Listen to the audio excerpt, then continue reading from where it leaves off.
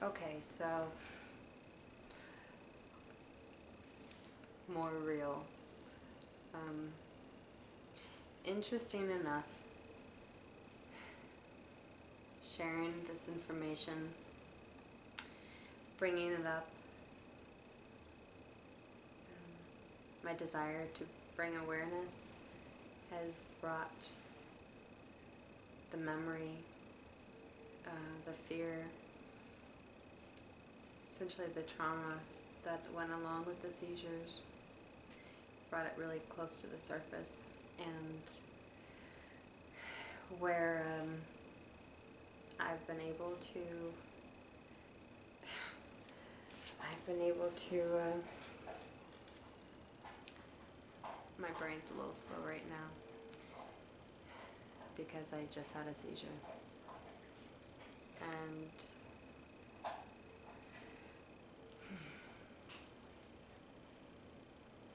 at first, I could feel it coming on, and um, actually, I wasn't listening, but I could feel it coming on probably earlier in the day. I just wasn't feeling quite right, and uh, my heart was feeling a little bit more racy. I just wasn't feeling quite right. So I was going to meet a friend, uh, actually a few friends, and still feeling a little bit racy, and I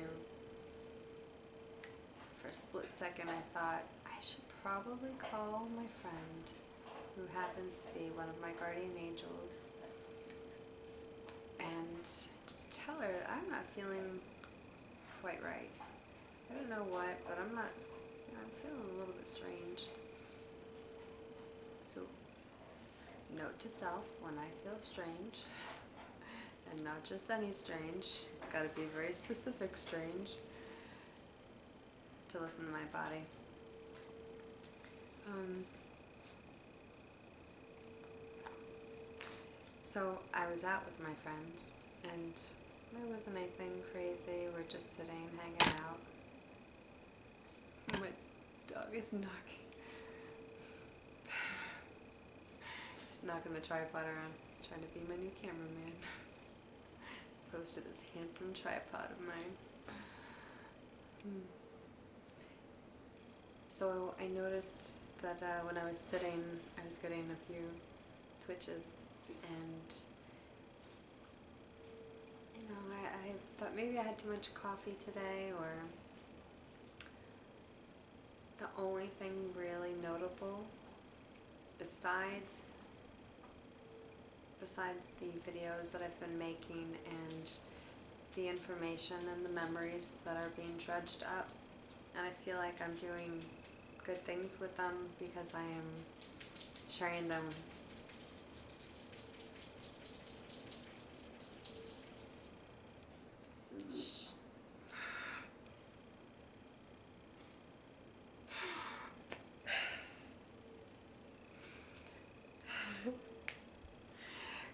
sharing them with everyone. Um, and it's to bring awareness and it's important to see, you know, why. So I'm out with people and it's feeling's not getting better and honestly it had nothing to do with the symptoms that I've had in the past. I didn't feel anything around my head. I didn't have that pressure in my chest. It was just an overall feeling of I'm I wish I could describe it. Just a very abnormal feeling where I felt a little bit racy. My mind was moving a little bit faster. Um, so those were the precursors. Uh, I was able to excuse myself and I went and sat in my car, let my guardian angel know what was happening and I went and sat in my car and I got the car into position, the seat. Of course, I'm not driving home, it's, I'm recognizing the dangers. And um, basically got into position. Now, this was a very interesting experience, and I wanted to record it as quickly as possible, even though my brain's a little slow right now.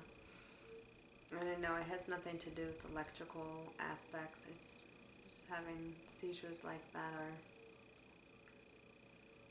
they take a toll.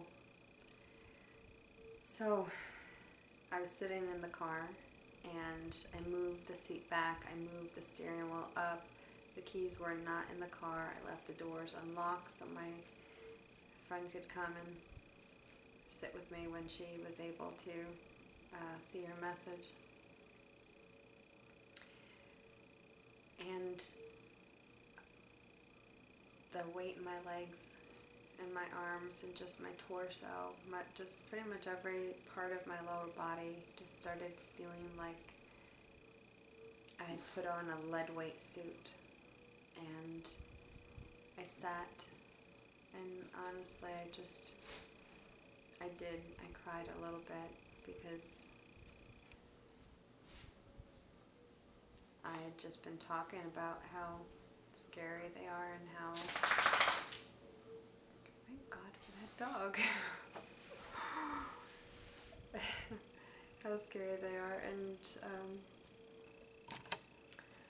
and uh, it really helped me because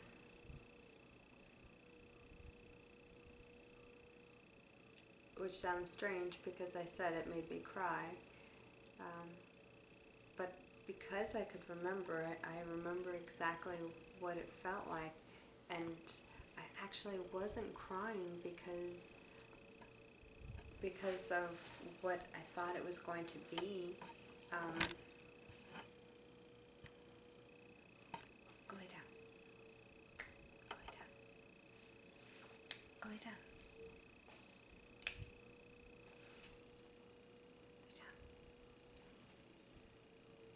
He does not like when I feel sad or whatever emotion he's uh, sensing for me right now. I just don't want him to keep hitting the tripod.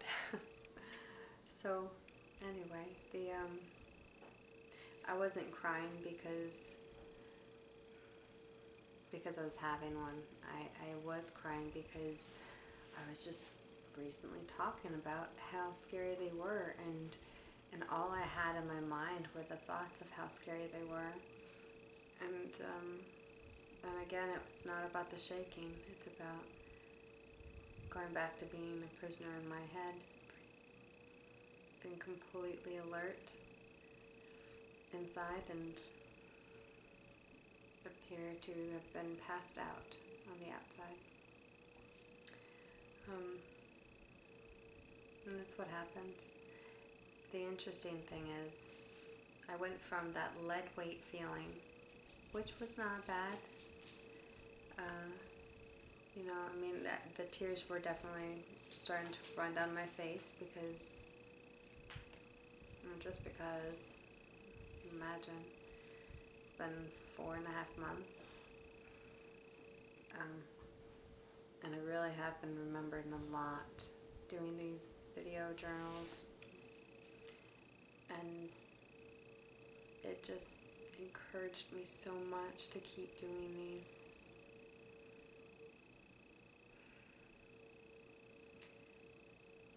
A fly or a mosquito or a beetle or something flew into the car when my friend opened the door to check on me and I didn't see it and uh, my friend went over to the passenger side because I was sitting and dead weight and all. And um, I had the shakes, but more like this, um, not the full grand mal. I was actually able to speak. My body was shaking, but I was able to speak. Couldn't have my eyes open, but I was, I was cool. if there was a, an upside to it, it would be that there's improvement. Um,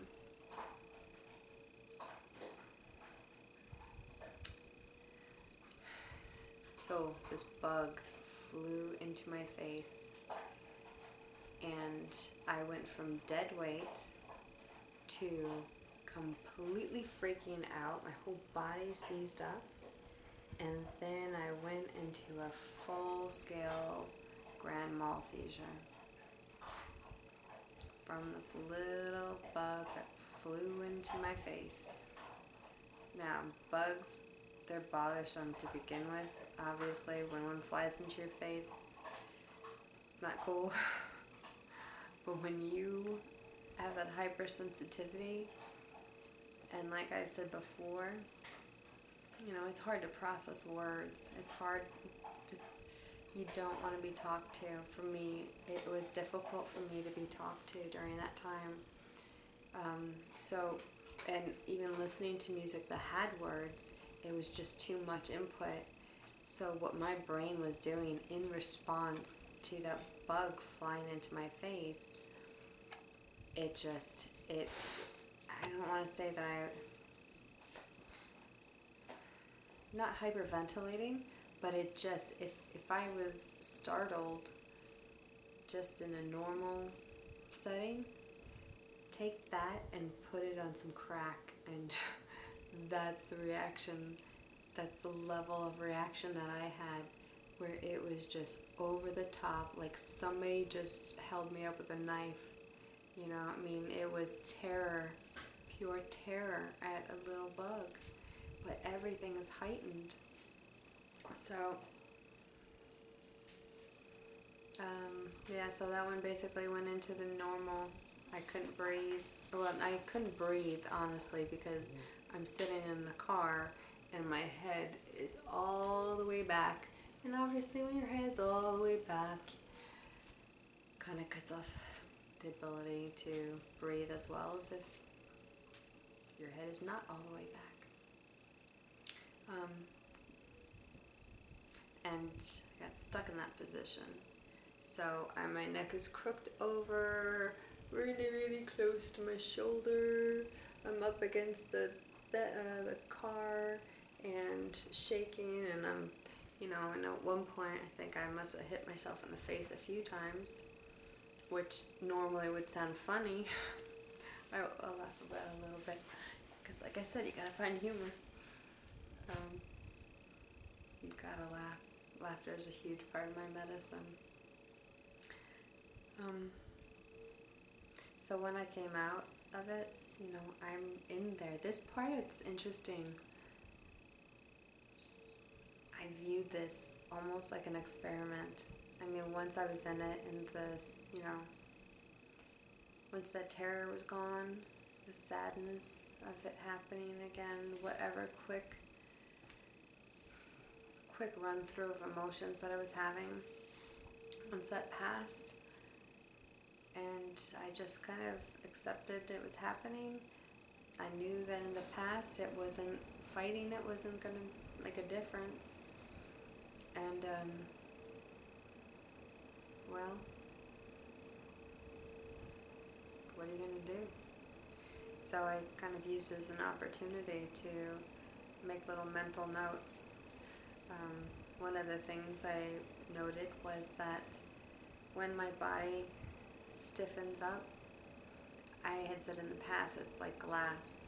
It really isn't. It's more, not to be gross, but it's more like rigor mortis, um, like where you just you just can't move. Um, and if you imagine somebody, something, let's not go with somebody. Imagine something that rigor mortis has set into, well, moving any part is going to hurt if that thing had any consciousness. So that's one thing that I, I kind of took note of. The other thing is once I did, once the seizure stopped, um, I kind of sat in my head and went over my to-do list for what I had to do tonight which is pretty much nothing. I'm not getting anything done tonight, and I recognize that. I I got a lot of work done last night, and then I I actually forgot to turn off, turn my um, plug in my phone, and so the battery died. I slept very, very, very late. And if you remember, if you saw the other video, one thing that would make me more susceptible to seizures was an irregular sleeping pattern. And so I got a lot more sleep than I really ever do. Um, and I, at first I was like, that's awesome. I still, you know, pretty much from the start of the day, I didn't quite feel myself though. So um, that's something that I took note of. The rigor mortis versus glass, I took note of. Um, and just, I could feel all the muscles in my face relax after the seizure passed. And it just, I could see from the outside how it would look like I was asleep. So it took a while to be able to open my eyes, which is always the thing that I can move the most, you know, the earliest. Um, and generally, it's followed by me licking my lips because I was just hyperventilating because my neck is back and not hyperventilating because I'm crying, but because trying to get air and it's not really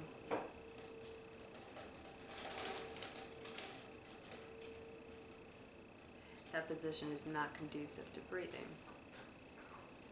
So, um, there wasn't a lot more to take note of as it was as it was passing.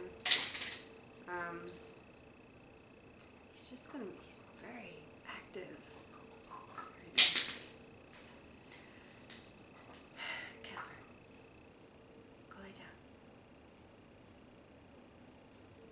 Thank you. Go lay down. Go. Go lay down. Good boy. As I say good boy, he comes over here. Um, so, give him a little bit of love. Um, so I was as I was coming out, and I could feel control coming back. I was eager to move as much as I could. Um, that wasn't a good thing either because the faster I wanted to move, the more I started to move, the more I was aware that another one could be behind. Mm. Typically, I'd stop and say, I'm not showing this one, but it's an important one, I think. I'm gonna lock my dog up next time, though. Holy cow. Hold on. Can I have this? Can I have this? Thank you. Thank you. Go get your other, get your quiet toy. No, go. Sorry. Just go get your, go get your toy. Oh gosh, I'm sorry. I don't, I to like waste people's time. So essentially, what I've learned, what I learned from this is after the seizure, move really, really slowly. Um, it was, it was that bug that set it off. I think it would have just been a mild episode. I think it had the potential of just being a mild episode. But, oh my gosh. it terrified me. Absolutely terrified me. So, it is what it is, right? And this is about being real. This is about awareness, and awareness means that I talk about not only what it was like after, not only what it was like before and during, but I consider myself well into my recovery period. And um, I actually had a really great conversation with somebody um, one of my uh, somebody who responded to one of the videos, and it was just amazing because as I sought for more information, it was just it was just a recommendation of a diet, not like a you know no carbs diet type thing, but a um, a raw vegan diet, and that's all it said. And you know, typically old me, old Christine would be like, "Ugh, brother, just need to get your information on," and that was initially what my reaction was. And about an hour later, I remembered who I was now and who I was who I wasn't, and, and that was the person who would say something so judgmental, so quick to judge. And so I um I I contacted this person and and uh, you can actually see the string of comments in it. I think it's from my first my first video, um, and uh, it was amazing because as it turns out, they have a lot to offer. They had a lot to offer me as far as what they've done. And it's exciting because that's a separate project I'm working on is just um, how we've lost the power behind the word awareness. I mean, not sorry, how we've lost the power and how unaware we are that we've lost the power behind the word united. We say it all the time, it's used, it's reused, repurposed. United is a really strong word. And there's so many words that have lost their their power, they've lost their meaning. And you know, I felt a prompting to ask him, Did you have PNES? Is this something that helped you? And from there, a whole conversation started where books were exchanged, music was exchanged, um, and there's actually going to be a section of this YouTube channel or my Google Plus page. I don't know, I haven't looked at how to configure this yet.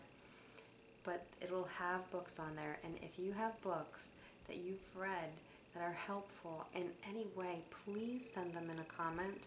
And I can't tell you how much it has been helpful to me to know that what I'm doing right now may help another person, even one person. If you have books or music or meditations or anything that has helped you, not only with PNES, but if you have anxiety or um,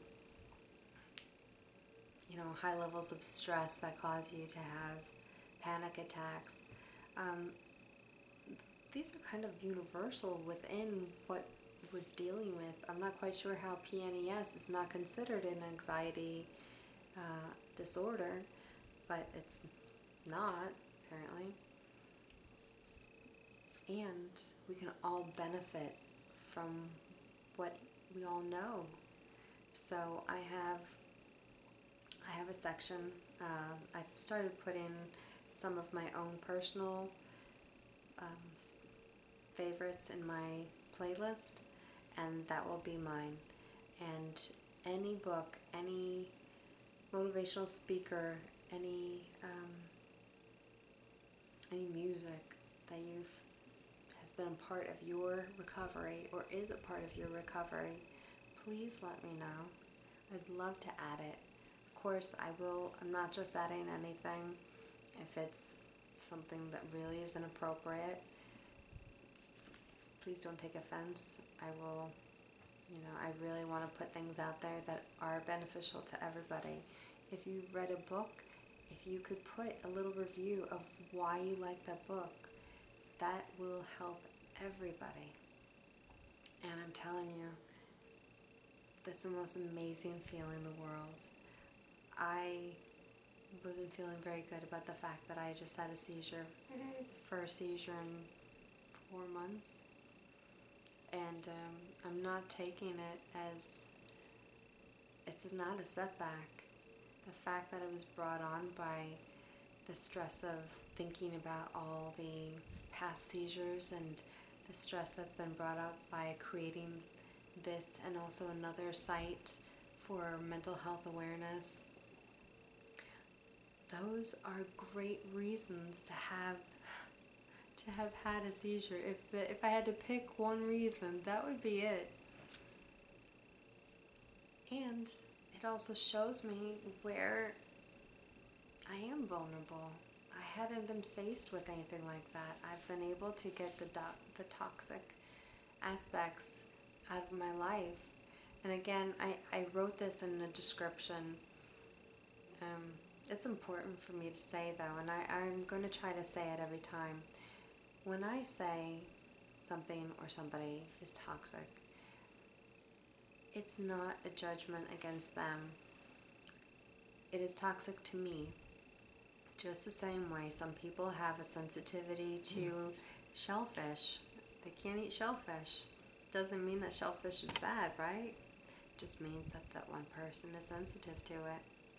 So the people, places, events that have happened, they were toxic to me does not mean that I am judging as, them as people. I'm not judging them.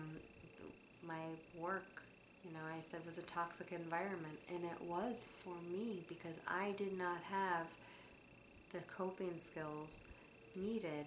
And not that I'm, you know, I have coping skills now that are great, and still wouldn't work out over there because there are still components, just like self shellfish that don't jive with me. So I hope this is helpful. Um, like I said, I'm, I'm just trying to be real. The last thing I thought about when I was having the seizures was getting home and, and uh, which I got dropped off. I did not drive home. I had two very wonderful friends drive me home. Um, that's it, you know, that's that's it. I'm grateful. I'm I'm still grateful for the seizure. It is something that I never really thought I'd be grateful for. But I'm as grateful now as I was before because it is an indicator that my body has built in to show me that I'm going in the right path, that I'm not going in the right path, that I haven't addressed certain issues. Um, thinking about the seizures, I said at one point that I think I might have a little post traumatic stress. I don't think that I was too far off. So I can't avoid it. I'm not going to. This is important to me. So I'm going to learn how to cope with it. I'm going to work through it because I'm not going to stop. I'm not going to stop bringing awareness because this is a life threatening illness. This is a life threatening disorder. It claims the lives of every person who has this you don't have the same life after. You don't feel the same. You lost power. I feel a lot more powerful now because I know I know what I want done for it. I know that I I'm not going to stop. So I'm going to continue to be loud and persistent and share all my vulnerabilities, which is really, really not my natural state of. Uh, I'm a bit of an introvert and shy slash private. So, but this is how much I believe in this. This is how much I am going to give. I'm committed to this. And I appreciate you watching.